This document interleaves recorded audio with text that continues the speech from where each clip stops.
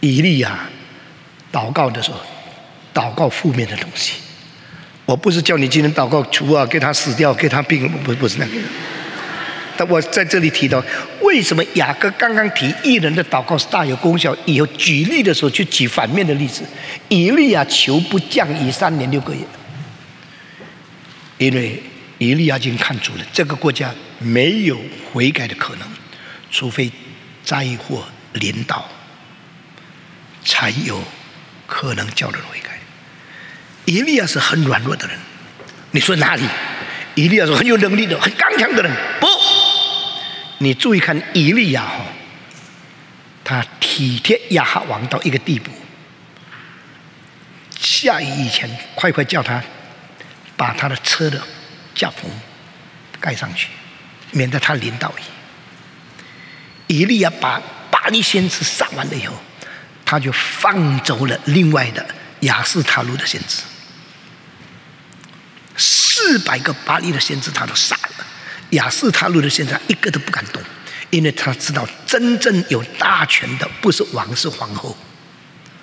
所以他在王犹豫不决、优柔寡断的政治立场上的时候，勇敢做先知；但是在真正掌握实权的王后的面前，他完全不敢动他的先知。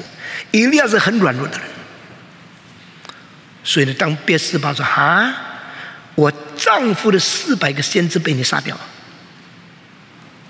却巴黎一点没有替他们报仇。也许别开始发抖了，耶和华是真神，巴黎是没有能力的，所以呢，他现在要杀。他杀拿波的时候是很勇敢的，但是他要杀以利亚的时候，他发抖，所以他怎么讲呢？我只做神明启示，明天这个时候，我一定要取你的生命。什么意思？快点跑，还有二十四个钟头，走吧！我很怕杀你，因为我知道神明没有办法帮助我的。事实证明，我丈夫的四百个先知给你杀了，都没有一个能够报复。那我一个不知道我的神能不能保守，所以宁可我们和和谈吧。你不杀我，我不杀你，和平共处。你快快跑！一利亚软弱到什么地步，就跑了。所以我告诉你，很多先知啊，看起来很威风，里面软弱到一个地步，你不知道。许多时候我看圣经跟你们看的不一样。你说为什么我没有看到这些？唐牧师看到这些呢？你试试看，证明我看错了。难道我是认错？如果没有看错，我要你好好思考。Antithetical method of thinking，反面思考方法。以利亚是大有能力的，但他就因为有这些软弱，所以圣经告诉我们，他是与我们相同性情的人。我们有弱点，他有弱点；我们是血肉，他是血肉；我们会怕死，他怕死。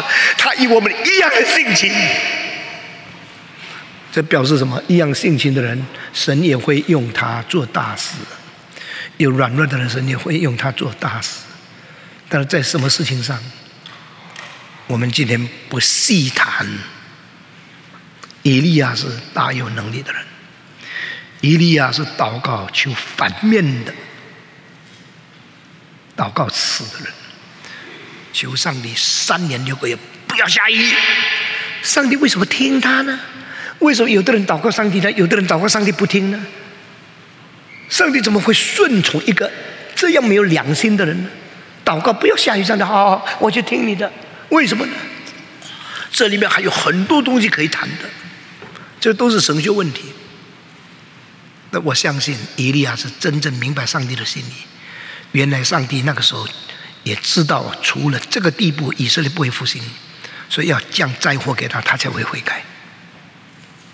所以以利亚就知道神的心意，他就照着神的心意祷告了，和神心意的字，神就这样给他成全。